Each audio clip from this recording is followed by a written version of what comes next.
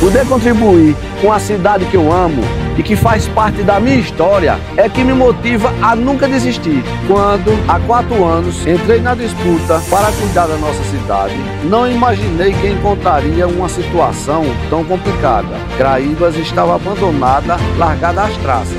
Vencemos as eleições. E quando eu digo vencemos, não estou falando de mim, mas de todo o povo craibense.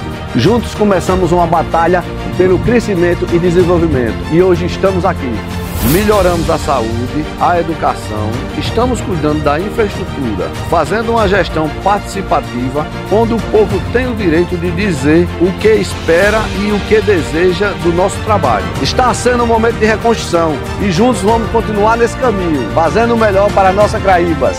Eu acredito na força do povo, na força do nosso trabalho, na força da realização dos nossos sonhos. E hoje meu sonho é ver Craíbas cada vez maior, cada vez melhor, passando por uma mudança que transforme verdadeiramente a nossa gente. Esse é o nosso caminho. Isso é o que queremos. Teófilo Pereira 11. A mudança que transforma.